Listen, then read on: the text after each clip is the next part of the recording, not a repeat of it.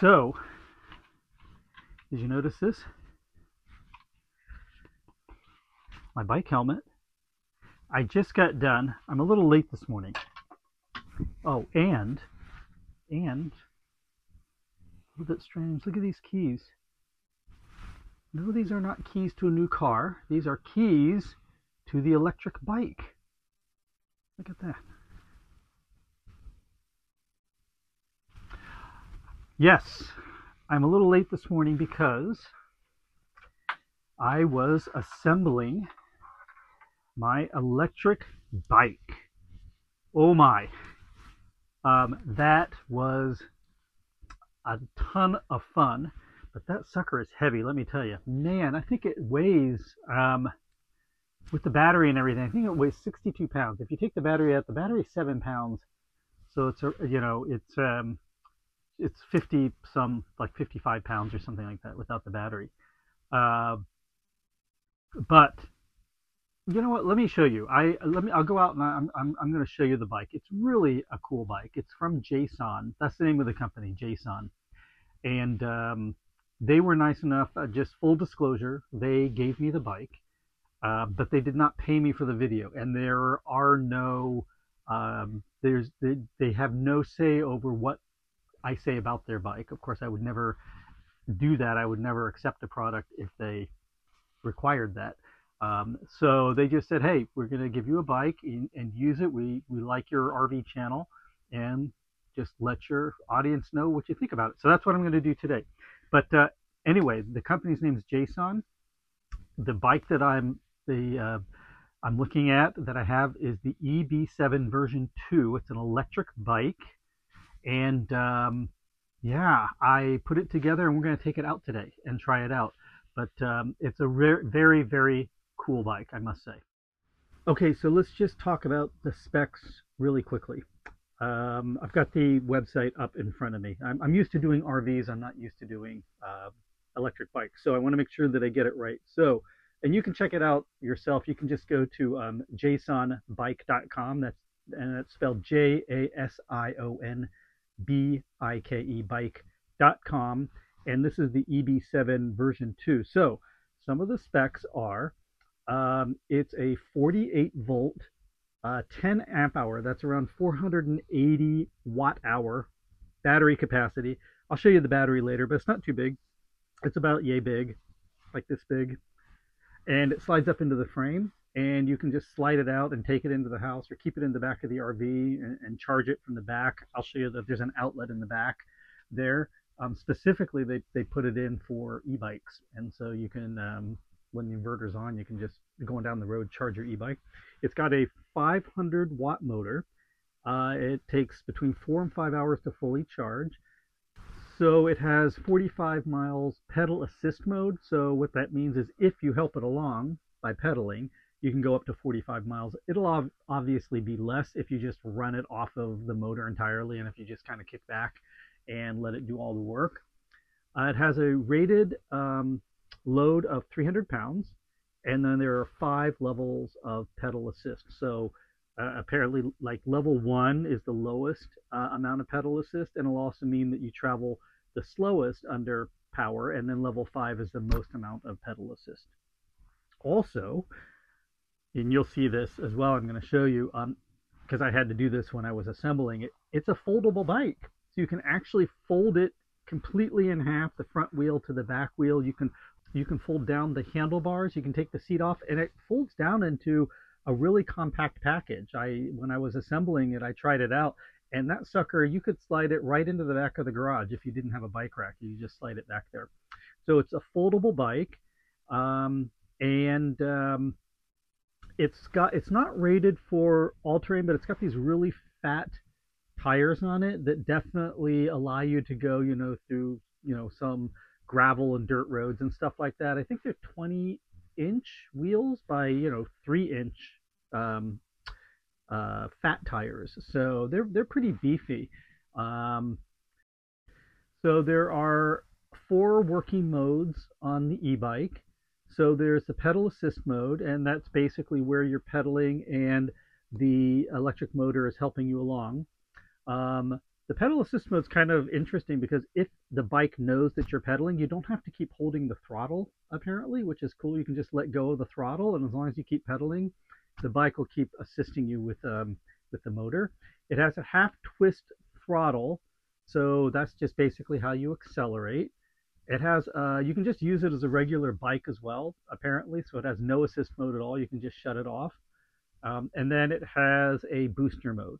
So um, in the booster mode, or they call it like walking mode, the the bike apparently will travel um, like under four miles an hour, something like that, just to help. You know, it makes it a little bit easy to push. Let's see. Any? Oh, oh yes, it has two shock absorbers, front and back. The front shock absorber can be um, adjusted, or you can shut it off completely. It's up to you. There's also a little LCD computer screen that comes with it, and that shows you obviously your speed. It shows you what level of uh, pedal assist you're using. It shows you, I believe it, show, it will show you your uh, range in you, that you've gone, um, how long you've been on your trip, uh, the battery level. Uh, it might even do projected range. I can't. I don't know if it does projected range or not. I gotta. I gotta look at that. It has uh, mechanical disc brakes, which is cool, front and back disc brakes. And uh, it does come with um, integrated headlight and tail lights. I upgraded and put a little basket on the front, and I put a little phone holder on the handlebars as well. All right, so let me show you the bike, and then uh, I'm going to show you how I load it uh, onto the back of the RV, um, and then we're going to actually go take it on a ride. And when we come back, then I'm going to let you know uh, what I thought about it. Okay, let's go.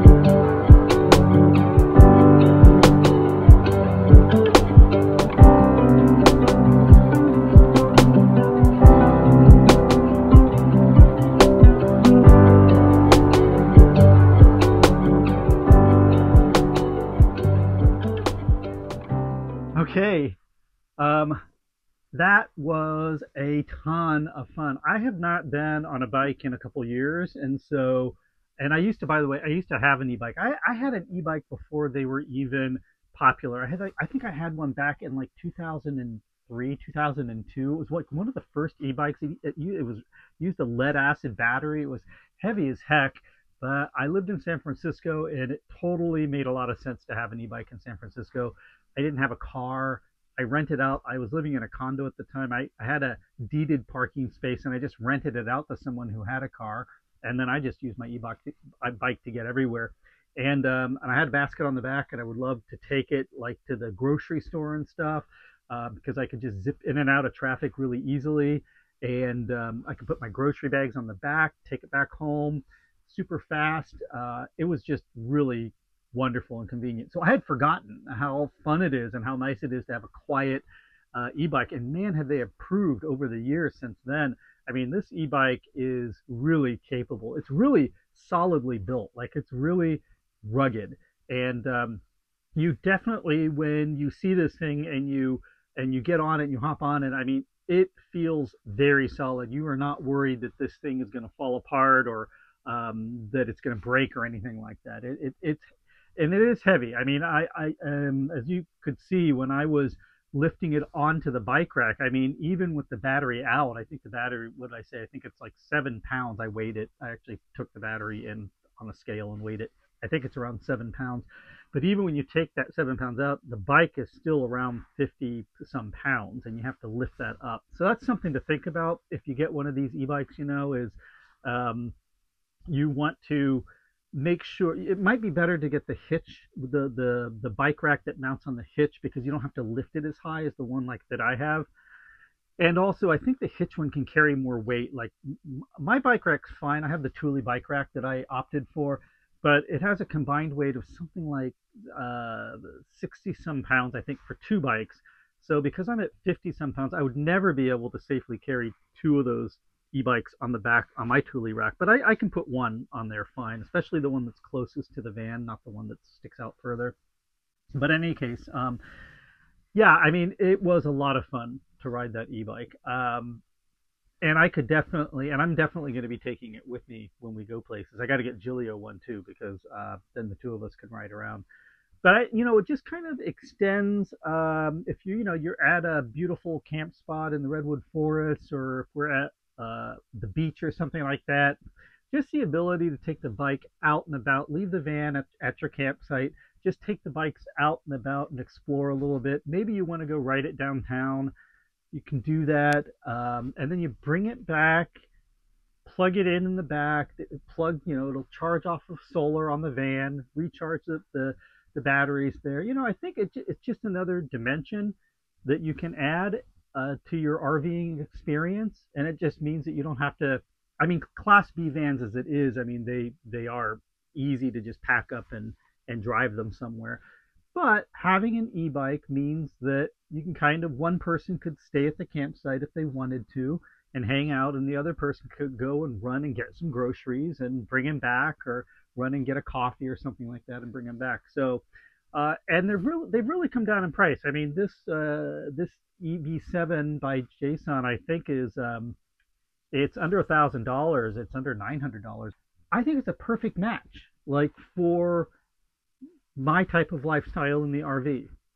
You know, I can have that thing on the back. It's out of the way because I got the bike rack. It's not going to take up space on the inside. Although if it's raining, because you can fold it, uh, you can just slide it into the garage. It doesn't take up a lot of space. I'm pretty sure you could probably fit two of them in the garage. I haven't tried it because I've only got one, but I think you could probably fit two of them folded into the garage. It's fairly easy to fold. Um, although, you know, I'm going to be honest with you. You know, it's a heavy bike. It's a solidly built bike. And when you do have to fold it, I mean, you're going to have to be a little bit nimble, a little bit agile because it is heavy, it is bulky. You have to kind of use your leg and your knee to kind of like at the junction point where the bike folds, you have to kind of apply pressure there and then kind of bring the bike together like so. So I mean, it's it. Just be aware. I mean, it's it's it, it, it there's a little bit of effort involved if you want to do things like fold it, if you want to do things like lift it up. If you're not doing those things, it's pretty super simple to, to use. You just put the key in, start, you know, turn it on, hop on and go on your way. That is one thing I hope that they change is the key position where you put the key in because it's on the bottom of the frame where the battery slides in. It's it's underneath, and it's a there are the the the uh, lines that go back through for the brakes and stuff like that are kind of in your way where the key is. So it takes a little bit of doing to get up in there and kind of get the key jiggled incorrectly and get it turned. Um, but you know, uh, and when the keys are in, by the way, they are locked in, so they stay in the bike while you're riding it. You don't turn it on and then take the keys out. You, the, the keys stay in. And then when you do take the key out, there is a lock pin that goes through the battery and that drops down and attaches to the frame, and, and it won't let you pull that battery out. So, uh, so, so some good thinking there, some good engineering there. Uh, I just I like the idea that because it's a an e-bike, I can just charge it from the solar panels, you know, and it'll always be kind of charged up. There's just something kind of cool about that. I always like being off the grid and just feeling like I'm self-contained and self-sufficient. So having another little goodie like that in the van where it's charging off solar and then it's kind of extending my life the ability for me to the range of things that I can do quite literally um, is it's kind of a cool feeling. You know, it's just like it's. I'm weird that way though. It's like using the microwave. You know, I love whenever I use the microwave or or, or, or make coffee in the van because I know I'm using energy from the sun. Pretty, you know, that's that's how I think about it. Like I'm like, oh, I'm kind of free energy. I'm using energy from the sun. So this is it's kind of the same way with the with the e-bike. But yeah, I'm very happy with it. I I um I think it's a great product. Uh, I do think that if you get one for your RV, think about getting the tow hitch bi- uh, bike racks because it'll be easier to load and unload off of there. But other than that, it really is a quality product, I feel.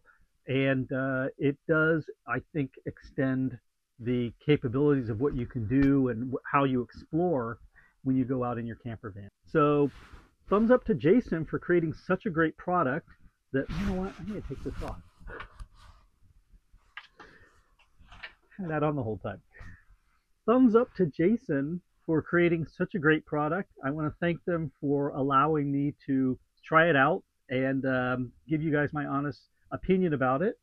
And uh, yeah, I think it's going to become a permanent part of the ultra mobility uh, travel experience whenever we go explore places. So uh, if you have any questions about it at all, leave them in the comment section below. I'll try to answer them for you based on my own experience.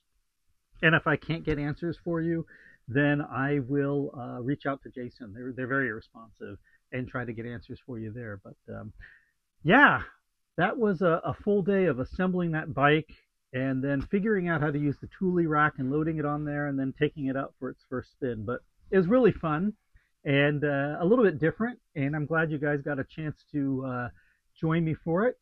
And uh, yeah, we'll see you on the next video. Take care. Bye bye.